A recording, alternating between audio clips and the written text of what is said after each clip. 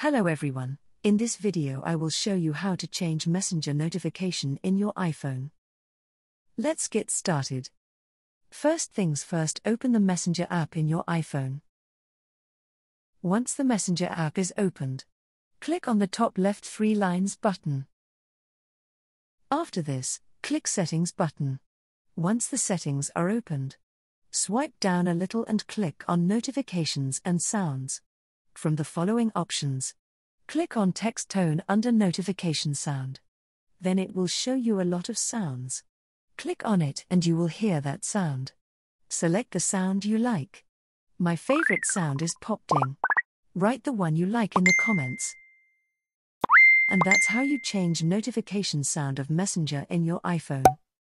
If you find this video helpful, don't forget to give it a thumbs up and subscribe to our channel for more tech tutorials. Thanks for watching.